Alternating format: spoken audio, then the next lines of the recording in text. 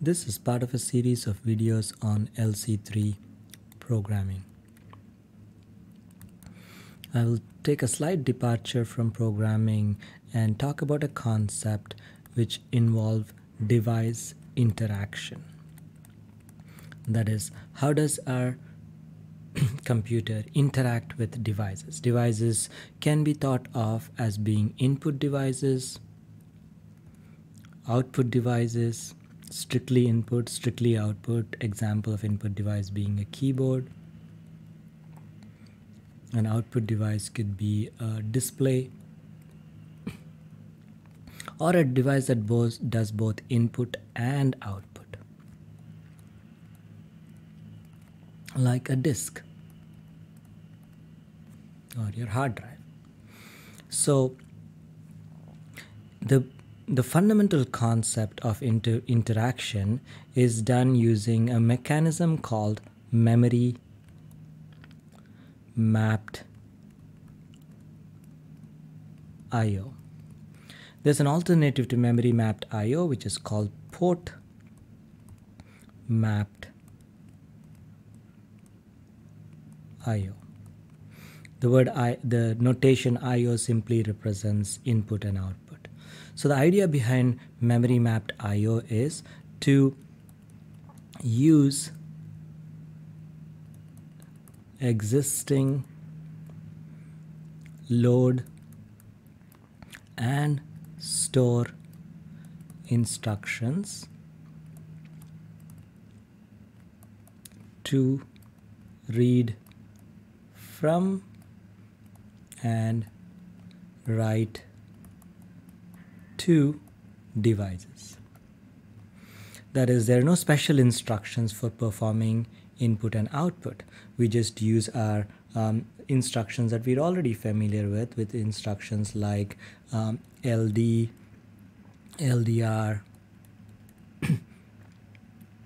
LDI, and so on. And we use instructions like ST, STR, STI, like before. The alternative to this is what um, x86 uses. Um, by the way, LC3 uses a memory mapped IO, and so do a lot of uh, other machines like ARM and so on. So, port mapped IO is based on the notion that there are special instructions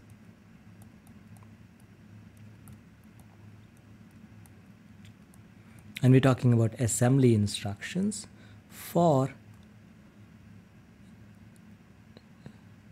interaction. Specifically in the case of x86 there's an instruction called in uh, for example in uh, has a, a simple example of in is you would say in and you would say um, what register you're taking it from um, what what what location you're reading it from is specified as an 8 this is an 8 bit address that you specify. And the, this is the destination you're going to read from that from that particular address and put it into um, a register. This is a general purpose register on on x86 just like we have r1 r2 r r0 r1 r2 there's a register called a and this is a 16-bit version of it. Uh, similarly there could be an out instruction like that.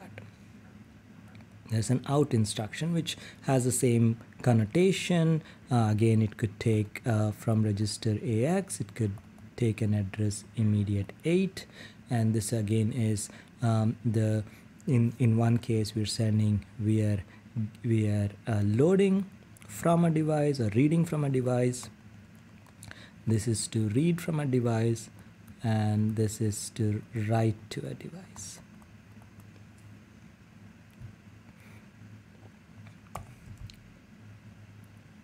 So to kind of get a sense of um, how device interaction really works let's take a few steps back and revisit what we know about how the CPU interacts with with memory. So we remember that CPU and memory interaction. So if we have memory in our memory on our system, we know that the interaction between the CPU and the memory is really done using the MAR and the MDR register. One is the address register and the data register. But really, the MAR and MDR registers, the MAR and the MDR registers are don't physically I mean they do have a physical uh, expression but um, the expression happens in terms of the address line and the and the data line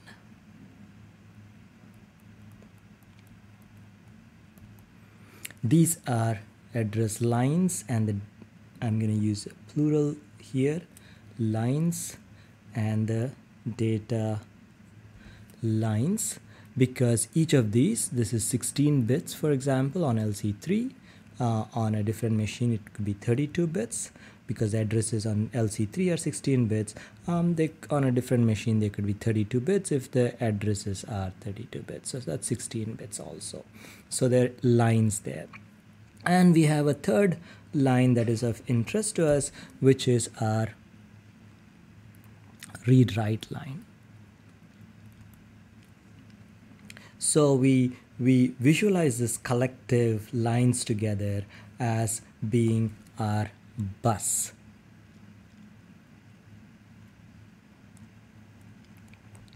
So when we want to read from memory or write from memory we'll write we'll put the address on the address bus and the memory looks at it and memory responds by putting the contents of that in the data line. If it's a read uh, if it's a write we do we follow a similar sequence which we which we explained which I explained in a different video. So the CPU sits on the bus and so does the memory sit on the bus. Now in come our players new players into this game. Our our players in this new players in this game are our are input devices and output devices. So here is an input device a keyboard and in my in our key our keyboard um, is also a device that sits on the bus. So what uh, so does the display device. And if there were another device like we said a disk it would also sit on it. I'm using the disk as a as a as an extension of LC3 LC3 only has these two are there on LC3 but the disk doesn't exist on LC3 but I'm gonna use it to kind of make the case for um, uh, something more sophisticated and something from derived from the real world.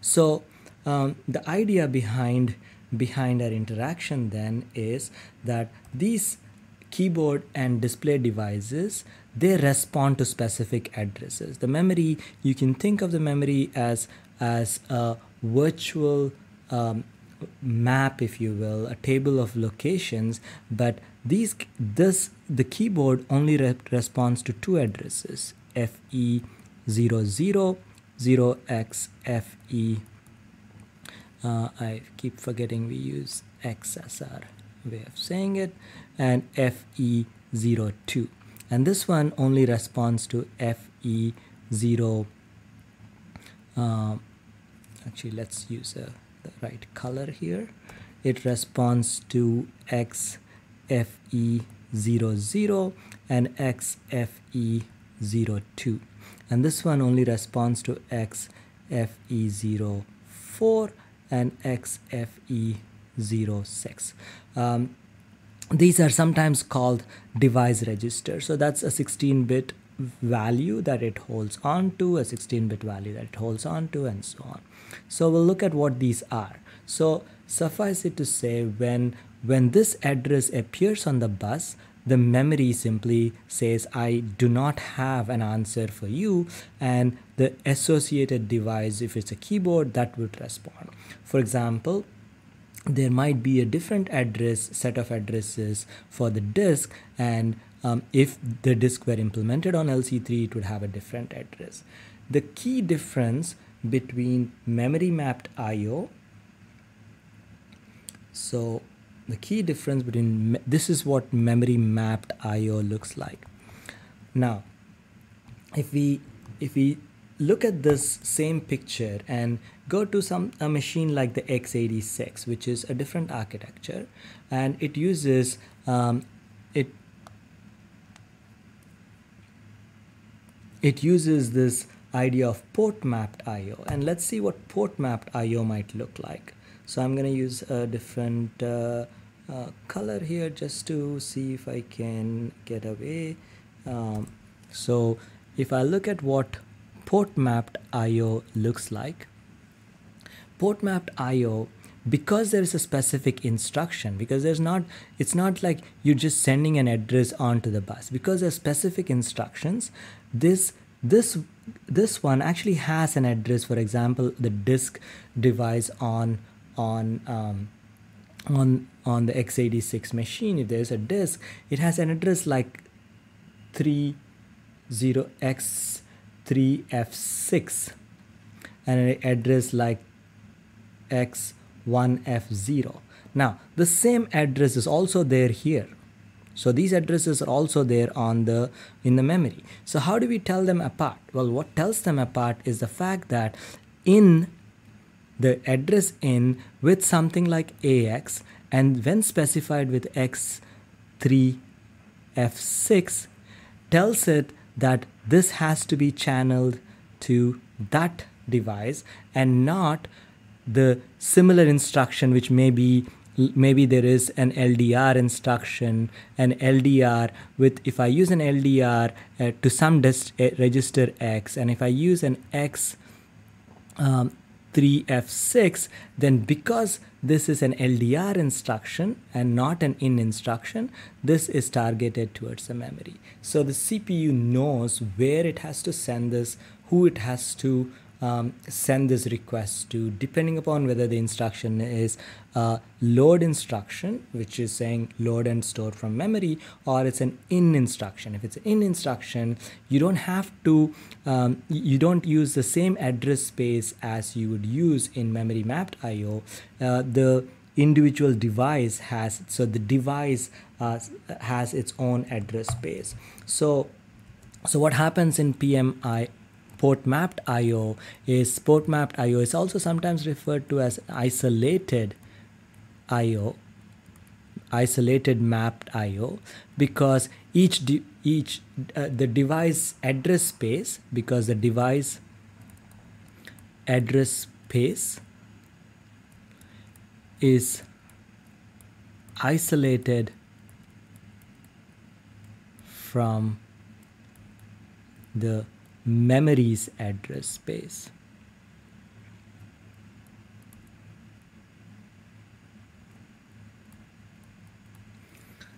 Other than that, they they basically achieve the same purpose um, because x86 is uh, is what we call as a as a as a CISC machine. We have instructions, specific instructions for doing things. Having having understood that, let's take a look at how the um, various devices work. We'll start with the keyboard. And we'll look at first LC3's keyboard. So here is LC3's keyboard, uh, keyboard um, registers that we looked at. The two device registers we talked about are the KBSR, which is, is, which is called the keyboard status register, as the name indicates, and the data register which is the keyboard data register which is at 0xFE02 and the way this register works is it's 16 bits but as of now there are only two bits of interest to us bit 15 and bit 14 bit 15 is called the busy or ready bit. And by by busy by having a value of 0 it's saying that the device is busy. When the keyboard is ready it'll have a 1 so what does it mean to be ready? Ready for us is saying that it has a that the keyboard a key stroke has been performed and also is telling us that KBDR holds the this one KBDR holds the the character the ASCII code of the key that has been struck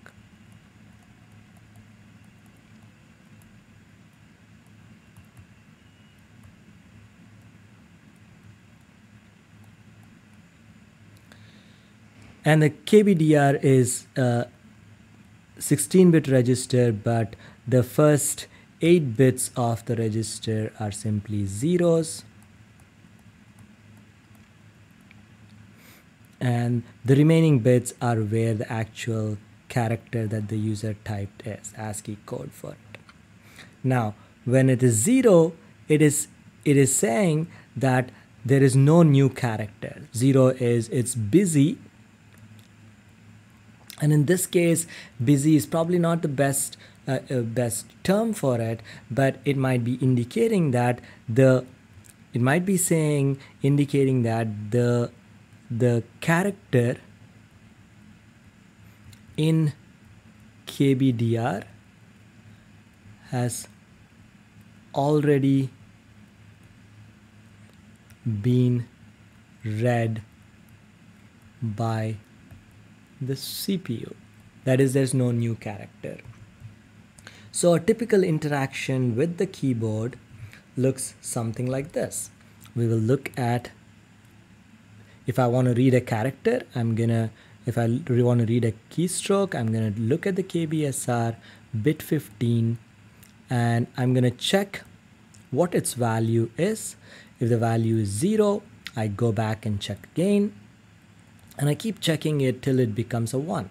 When it becomes a 1, I know that there's a new character. If there's a new character, then I can read it. Read KBDR. So this is exactly what our trap X20, which is in in our case a get C is doing on get C trap call is doing on on our system except that it reads KBDR and puts it into register R0 and this form of IO because we're repeatedly polling this bit so we have this one bit which is bit 15 we are repeatedly polling this bit which keeps checking checking check it and keep checking. This act of repeatedly checking is also called polling. So that's where the polling is happening. Now let's look at another bit here which is bit 14 bit 14 is referred to as the as the interrupt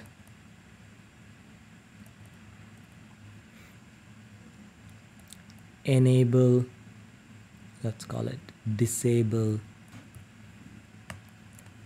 enable. So disable slash enable bit. That is if it's 0 it's disable, if it's 1 it's enable. And we'll see what that means by taking and taking a look at what what the downside of doing polling is. The downside of polling is that when a user requests a character, this polling repeatedly happens and this is wasted cycles. That is, you're waiting for the user to type and the computer could be doing something else, but it's not doing anything. It's repeatedly checking the status bit. So here is a possible alternative way of dealing with this. Say we have again our CPU which is performing some operation. And I'm I'm just thinking of the CPU executing some code and this is my main program and there's some lines that it's executing.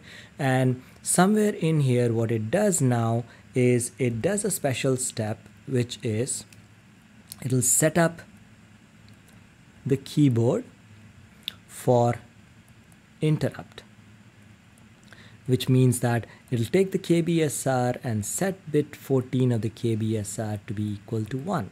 And what it's doing by saying that is it's telling the device, this is our device, it's telling the device, I am not going to be checking this bit repeatedly. I could, but I want you to let me know when there is a character. So if there's a keyboard here where this the user strikes a key, then where the device is going to send an interrupt. It's going to interrupt the CPU and we'll see more details about how the interrupts it, interrupts work. But now what can happen is the main program having set things up is simply going to keep running whatever it's doing. Maybe there's a loop in which it's executing and so on. So it continues to run. And when the user actually strikes a key so when the user strikes a key right and the user strikes a key the interrupt is fired and whatever i'm doing i am going to be interrupted. So the main program is going to be interrupted. And what happens at that point is because the device caused an interrupt, the mechanism is very much like a trap, except that this is not a voluntary call, it's an involuntary invocation of a service routine. So what it's going to do is in response to that, there will be an interrupt service routine um, the interrupt service routine for the keyboard. And we'll see how that works as we get, go along. So so the the the CPU will suspend which will save state like we know before on stack just like trap does and then it bra branches control to the interrupt service routine. And when the interrupt service routine runs it'll the interrupt routine, service routine will finish and it'll do an RTI and when the RTI happens because we've stayed the state on the stack and specifically we'll save PC and PSR on the stack as before. And when an RTI happens we are we will restore state which means the PC that you newly restored will, you, will put you back at the place that you ran. So this way, we are not wasting processor cycle but cycles but we are use doing useful work and then you can resume and go on so this might be the code where it's doing something repeatedly but it doesn't have to be engaged in the act of polling in order to read do IO. So we'll get into more details about interrupt processing. So let's take a look at a display device. The display device is slightly simpler because the display device is not an interruptible device. It does not has the, does not have the capacity to interrupt. So here is the display device, and um, this is much simpler. So I'm just gonna um, look at it in a very straightforward way. There is a DSR, which is a status register. And again, it's bit 15 is going to tell us whether it's busy or 0 for busy and 1 for ready. Uh, what it's ready with is ready, red, ready to accept a new character to display and busy zero means that zero in our case in this case means that it's busy working on the last character that was asked to be displayed So the code becomes pretty straightforward. Then if I want to display a display a um, character onto the screen, I'm going to check this bit. And if it is zero, I'm going to keep polling it to, till it becomes one and it becomes a one, then I can write to DDR. And in the case of trap, it means that we are taking what is an R naught and writing to that. This is what our put C does internally.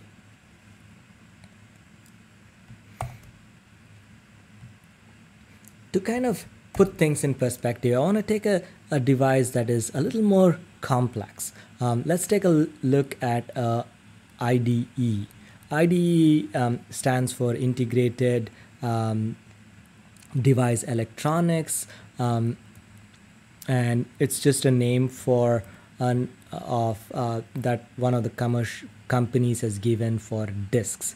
Um, but it is one of the most um, earliest technologies in in uh, in disks and so i'm going to look at this as an example because we we don't have to just be limited to one or two registers. In fact in the case of IDE what we find is that there are more than actually several registers in place. So the for example there's a control register and a command register status reg and a, a, a control register and a command register. Within the command register we will focus on on this register because this is a lot like the status register we looked at. And this is you can call this your status register and we can call this our data register. Not exactly um, there's not exactly a one-to-one translation but we'll see what that means.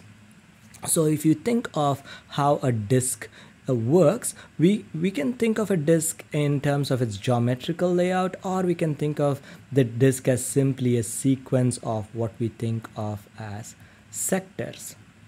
These are numbered sectors 0 1 2 3 4 and so on. Uh, internally they may not be like that but there is n sectors like that.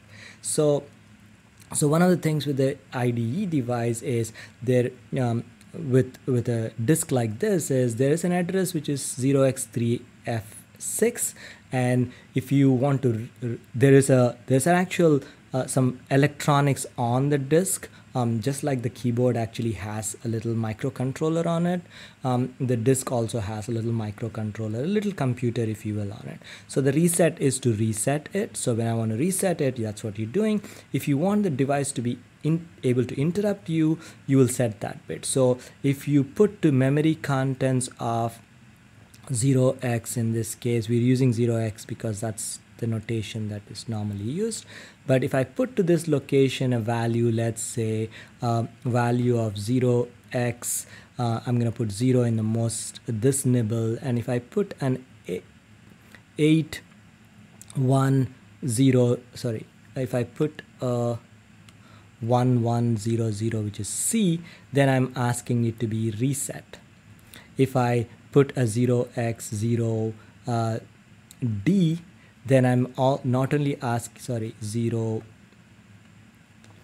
um, 1110 which is a E. If I put an E I'm saying that I want to reset and also enable interrupt The interesting thing about this device is because there are so many locations I can access and that's not just one character that you're reading because there are many things you have to give it an address. And the address is given address of the location that you're going to give happens to be a 28 bit address. And the 28 bit address by the way the LBA is what we mean by a linear ad this is called a linear block address. So if you think of the disk as a linear set of linear blocks, then that's what the LBA stands for. And that is a 28-bit address. So how do I convey a 28-bit number? Well, the 28-bit number is is can you be can be thought of as as 8 bits. This is the low bit. This is the mid uh, sorry mid byte this is the high byte and there are four more bits left and the four more bits are going to go into this location. The top four of this 0xfx are are the LBA of it. So that's where um, the top four bits. So these are the remaining four bits. So this is 8 this is 4 8 8 and 8 so that makes it a 24 bit. But you specify them in these addresses. And the remaining bits in that in the last one are used for um, for other specifications. Interestingly you not only say what location you want to read so for example you might be wanting to read these locations you'll specify this address as in your LBA your linear byte address which is the 20 byte and then you can also say how much how many you want to read this is your sector count if you will. A sector is defined as 512 bytes in this case but you want to say how many of those 512 bytes you want to read. Um, the interesting thing now is how do I read it? Well I have to read it in one byte at a time and the data port is your way of reading one byte at a time. So we'll not get into that details.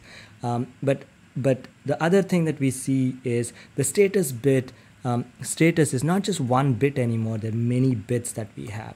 We have a busy bit which is different from a ready bit. There's an error bit.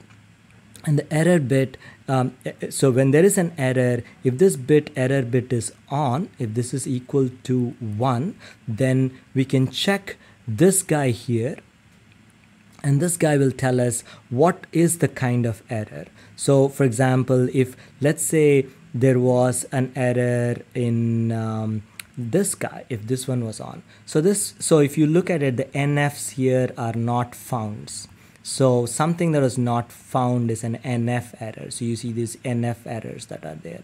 Um, this is a bad block error. Um, and and there are other errors like that. So every time we perform an action we can check the status bit to see the the status reg the error bit to see whether there was an error. If there is an error we can go and look at the error register and know exactly what it is. So this is what a more complicated device might look like. I hope this uh, answers the question of how device interaction works on modern day computers